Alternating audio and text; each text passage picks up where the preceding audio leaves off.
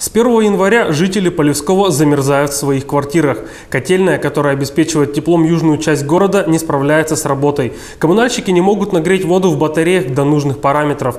11 января в администрации города этот вопрос решался с участием членов Общественной палаты Свердловской области, Общественной палаты Полевского городского округа, представителями ресурсоснабжающей организации и управляющих компаний. Комфортно ли чувствуют себя сегодня жители южной части, узнаете из следующего сюжета. Каждое утро заместители директоров школ обходят кабинеты, проверяют температуру воздуха. В кабинетах 15-18 градусов. Если бывает понижение температуры на улице, то и в помещениях холодает. Уроки сокращены до 30 минут. Дети вынуждены заниматься в верхней одежде. Восьмой замерзаем. 16 Шестнадцатый. Ну как, комфортно вам температура в школе? Нет, плохо. холодно. Холодно. Одетые ходите? Да, в куртках ходим, сидим, без шапок. А уроки сокращены у вас? Да, по 30 минут. А школе номер 8, ну, холодно, в, а, в кабинетах по 10 градусов. Холодно.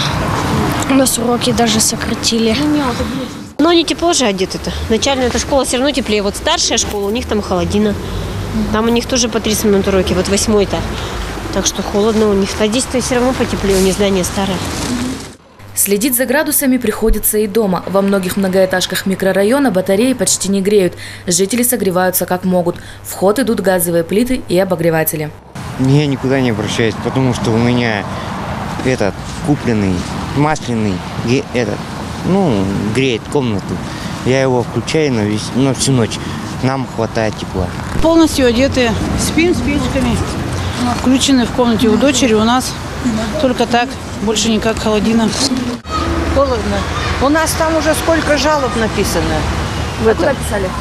Писала соседка Комарова. У них вообще батареи как парно молоко. У меня-то на пятом, у меня-то еще погорячей батареи. А у них вообще. И она теперь так болеет, у нее астма, ей вообще студиться нельзя. Ее только выписали недавно из больницы, и сейчас вот она снова, ее снова Однако на юге остались дома, в которых держится комфортная температура. У нас тепло, мы потому что ходили везде, выходили, шайбу у нас убрали и тепло. А вот у них очень вкус, холодно.